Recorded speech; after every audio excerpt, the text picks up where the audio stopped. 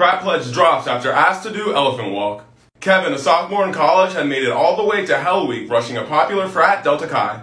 For those of you that don't know, Hell Week is the last week you have to go through before being initiated into a frat. He made it to the second to last day before initiation and said Hell Week was awful. He said it was lots of push-ups and working out, lots of memorization, and lots of excessive drinking. Him and his pledge bros were in the basement where they had been staying for the last week when the vice president came downstairs, blindfolded them, and brought them into a room. Once he got into the other room, there were lots of brothers there drinking and laughing hysterically, and he asked the pledges to get into a straight line and do the elephant walk. For those of you that don't know, an elephant walk is when you have five to ten people in line and you grab the person in front of you by their trunk.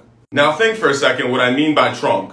Immediately, Kevin dropped and left the room and hasn't looked back since. He explained to me on Instagram that everyone else went through with it. For more college news, hit that follow button.